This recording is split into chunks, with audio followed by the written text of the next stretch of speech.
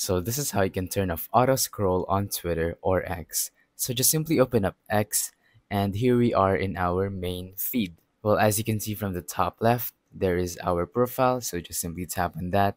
And now go look for settings and privacy under settings and support.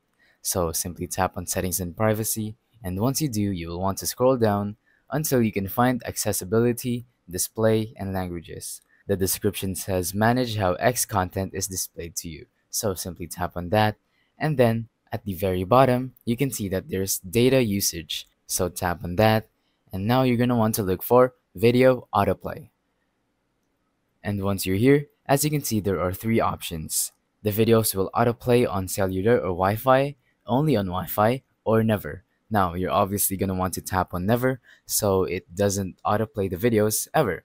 Well, yeah, that's pretty much it. It's very simple. I'm just going to go ahead and go back so I can show you again. Tap on the top left, go to settings and privacy, accessibility, display, and languages, data usage, video autoplay, tap on never, and there you go. So that's pretty much it. Thank you for watching. Don't forget to leave a like, subscribe, and let us know in the comments if the tutorial worked or if you have any questions. Thank you and goodbye.